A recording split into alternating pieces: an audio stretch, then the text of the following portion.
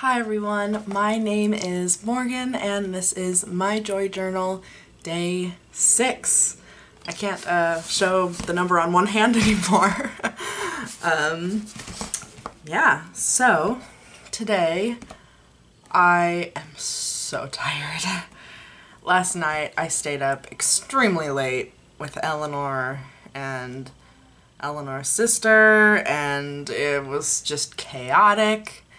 We went to bed at like 1.30 and then woke up at 7 because the next day I was helping Eleanor build a set for a play that uh, we will be in. So yeah, I am exhausted and I took a shower and that's kind of why my hair is a little ratty and messy looking right now. Um, but yeah, it was fun, but I am so tired. and uh, on to the thing that brought me joy today. It is this book right here. The original Fannie Farmer 1896 cookbook from the Boston Cooking School. So this is a reprint of a cookbook from 1896 and it's so insanely detailed but also some of the recipes are super weird and disgusting. some of them sound good but most of them are not so great, let's just say. so, the first recipe that I will be showing you is called oyster omelet. oh, I sometimes I like, well, I like oysters, but the idea of oysters kind of grosses me out sometimes. And I wouldn't trust oysters from 1896. so, oyster omelet. Mix and cook plain omelet. Fold in one pint oysters. That's so many. There's only four eggs in that recipe. Four eggs, but yet a whole pint of oysters? Oh no. Fold in one pint oysters, parboiled, drained from their liquor, and cut in halves. Turn on platter and pour around thin white sauce. And the thin white sauce is a recipe that I assume they had earlier in the book. A lot of these recipes will refer to other recipes like, oh, use white sauce number one or use blah blah blah number two. Like they will refer back to previous recipes and sauces and stuff that they have in the book. So I have no idea what thin white sauce is, but I'm a little bit afraid to find out. the second recipe I will be showing you is fried mushes. I don't know what mushes is, but mush left over from breakfast may be packed and greased, one pound baking powder box and covered which will prevent crust from forming. The next morning, remove from box, slice thinly, dip in flour and saute. Huh. That that's concerning. I don't like that they're just leaving the mush out and it congeals into like a bread thing that they then slice and then they serve them like French toast sticks. That's so odd. Like I I'm I'm just fascinated by this. I I love this book. I have spent hours just paging through this book because sometimes there are really delicious sounding recipes, like especially in like the desserts part, you know?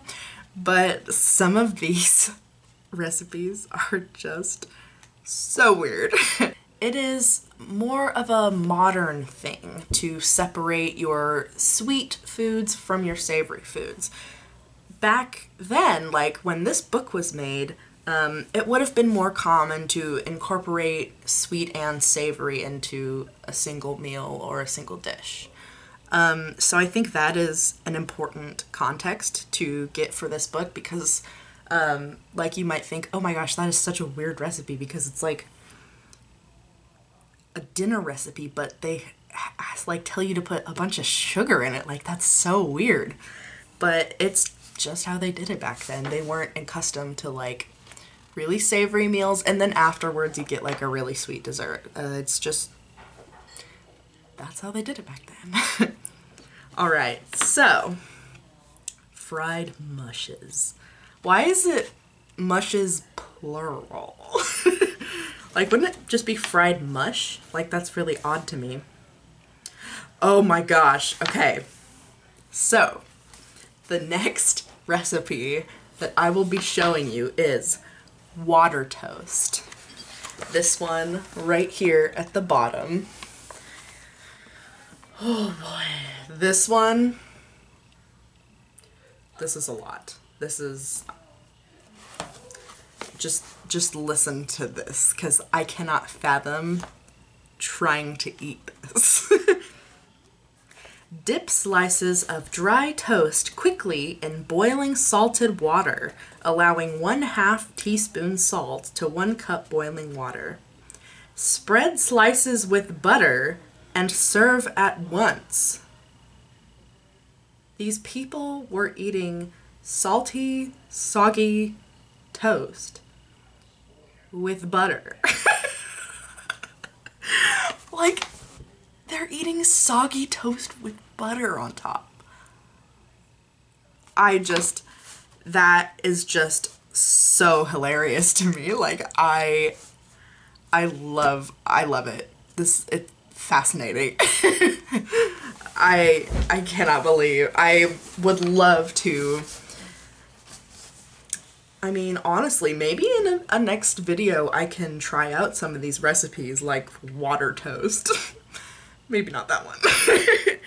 um, but yeah, maybe in a, another video I can try some of these recipes because I've actually been wanting to do that for a while because some of them look really interesting and it kind of gives you an inspiration that is comes from such a different source like it feels so different from how we cook now like um, so I think it would kind of provide me with maybe a bit of cooking inspiration something new even though it is old and not new but it's new to me the next thing I have which also has oysters in it and you already know my opinions on oysters is oyster toast. Hmm. All right, the recipe for oyster toast. Serve broiled oysters on small pieces of milk toast. Sprinkle with finely chopped celery. Mmm. What a delicious meal. I really hope they weren't eating that for breakfast. I feel like that would be more of like a snack. It's just so savory. I personally, I kind of like a mix of savory and sweet for breakfast, so I don't know how I would feel about that one. Like it would probably be so salty and like such an odd taste in the morning, so I can't imagine that could have been a breakfast. But I am so curious. So uh, yeah, those are some of the weirdest recipes I've found in the book. Now I will be finding some recipes that sound pretty good. Alright, I lied. I have one more gross recipe and I think you will agree with me that this one definitely needed to be included. It is clam water. And yes, clams I have mentioned oysters, and now this is the third recipe with some sort of mollusk, but please listen to this one. This is just ridiculous. I cannot believe this was a thing. clam water. Wash and scrub one and one half dozen clams. So many clams. Cook in covered kettle with three tablespoons water until shells open. Remove clams. Strain liquor through double cheesecloth.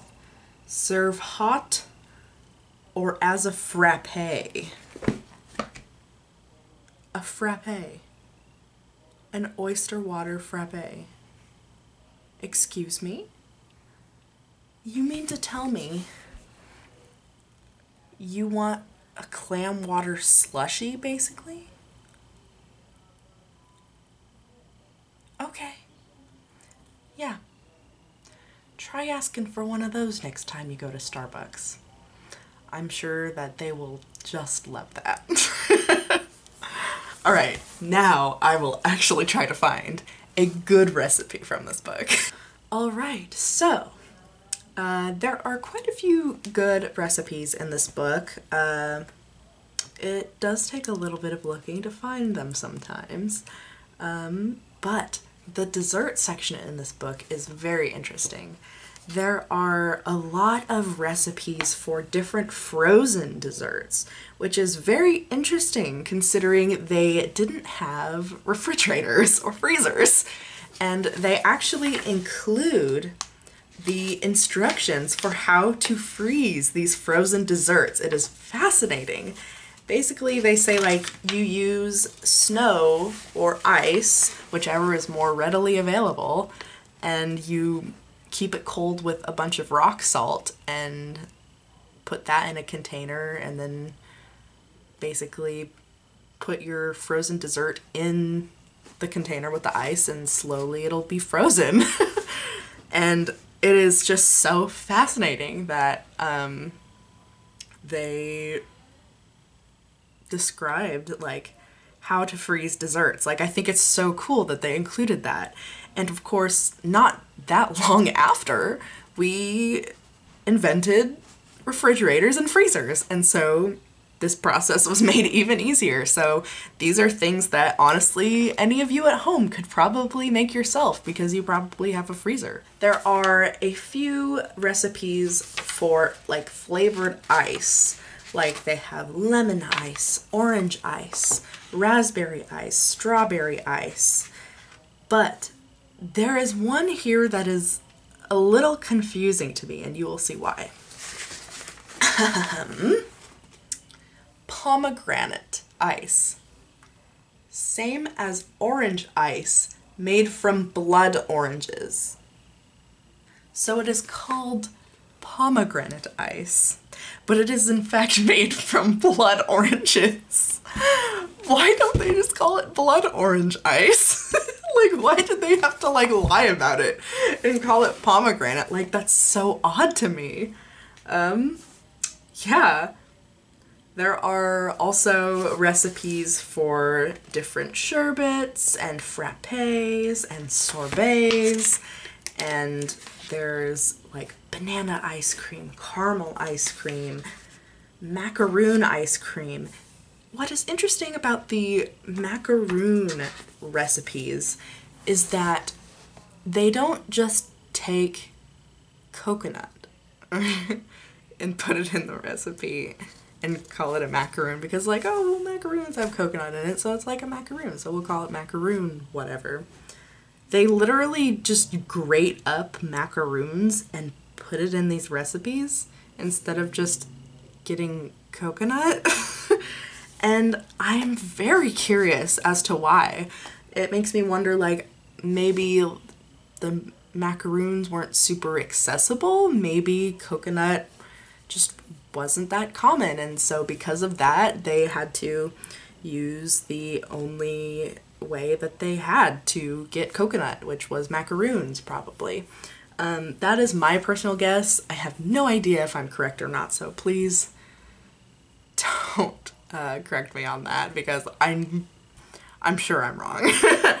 um, but yeah, I think it's fascinating that they call for macaroons in recipes and not just coconut. Um, yeah, they have baked Alaska, Neapolitan, ice cream, frozen puddings, angel food, different sauces, parfaits. Ah, oh, they look so delicious. Um, and yeah, I think it is, I think this book is just fascinating. And as much as I would like to make fun of these recipes, because some of them are quite funny and gross sounding to me, uh, I do like to remember that I don't exactly know the context of all of this. Um, and it's possible that names for things have changed or just public opinion of these things has changed. Like I mentioned earlier about including sweet uh, foods with savory and like combining it into single dishes. Um, that's just not a thing we do nowadays. And so because of that, I might perceive some of these recipes as gross or weird when they really aren't. It's just a cultural difference. There are probably a lot of recipes in here that I just don't have the cultural context for. And so it's kind of fun to look at it through like an interesting lens of like looking back on the past. But at the same time, this was a cookbook from the Boston Cooking School. So this was seen as really valuable advice. And there are some very interesting resources in here, including instructions on a full course dinner. Now, I will give you a minute to guess how many courses are in a full course dinner. Three? Five? No. Twelve. it is so incredibly detailed. And this also includes recipes for Thanksgiving and Christmas but it says like first course, second course, third course, like what kinds of dishes are acceptable.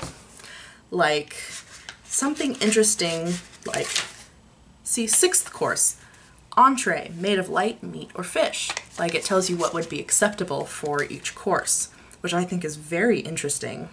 10th course, dessert, usually cold. Uh, 11th course, frozen dessert and fancy cakes. Bonbons are passed after this course. Um, I think that is so interesting to be able to look at a resource like this because it might be fun to laugh at it, but there's a lot of really interesting and valuable information in this book. And it, they have like menus and how to like cut up different cuts of meat and how to do all these different things that a normal cookbook probably wouldn't tell you. And it's fascinating. And another fun thing about this book is they have all of these original advertisements in the back of the book, which are so cool. I like this one right here. It says, no housekeeper need have to apologize for her kitchen.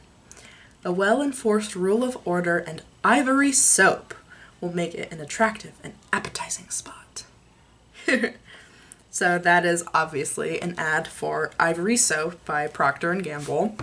Um, but just fascinating to get to look at all these old ads and it's so cool and I really enjoy looking at the ads um, for multiple reasons but it's specifically really interesting to look through and see what brands I still recognize that are still around. Um, and there are many of them, like there was just an ad for Ivory Soap from 1896. How cool is that? So I am just very fascinated and joyful today about having this interesting resource and look into history. So um, yeah, thank you for watching and thank you for being here. Bye.